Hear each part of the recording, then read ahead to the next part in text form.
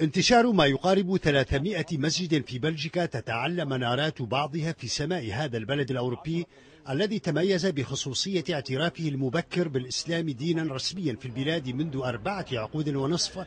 أطفى هذا الانتشار وما رفع فيه ما يزيد على 750 ألف مسلم من إسلامهم إلى مرتبة الدين الثاني من حيث العدد على أجواء شهر رمضان هنا نكهة أصيلة مستمدة من الشعائر الرمضانية في البلدان الإسلامية. وما كان من شانها أن تقلل من معاناة الصائمين من الغربة المعهودة في بلاد سجلت فيها بالمقابل مظاهر التمييز ومعاداة الإسلام مستويات قياسية في السنوات الأخيرة. وهي المظاهر التي أنهكت كاهل الكثيرين ممن وجدوا في قرابة عشرين ساعة من الصوم يوميا هذا العام فسحة لهدأة الروح ولعبادات هي الأزهى في تجلياتها الرمضانية. نهار طويل 20 ساعة الصيام ولكن الحمد لله آه، الأمور كتدوز آه، بالسهولة ومع العائلة ومع الإخوان الأمور الحمد لله.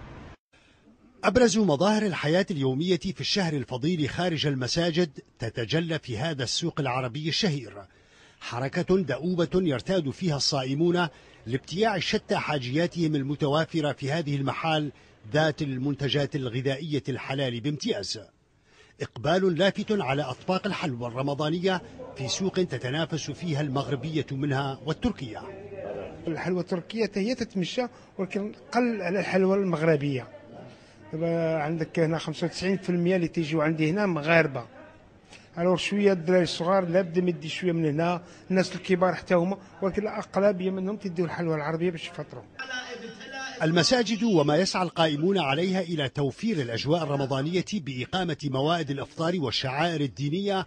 هكذا تعج بالصائمين خلال توقيت الصلاة وتزداد ازدحاما بعد الإفطار حتى ساعات الفجر.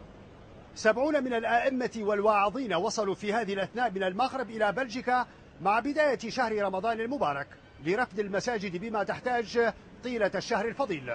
بعض آخر وصل من مصر وغيرها ولكن بأعداد أقل نظرا لحجم الجالية المغربية الأكبر من بين الجاليات المسلمة الأخرى. كريم بغساني العالم بروكسل.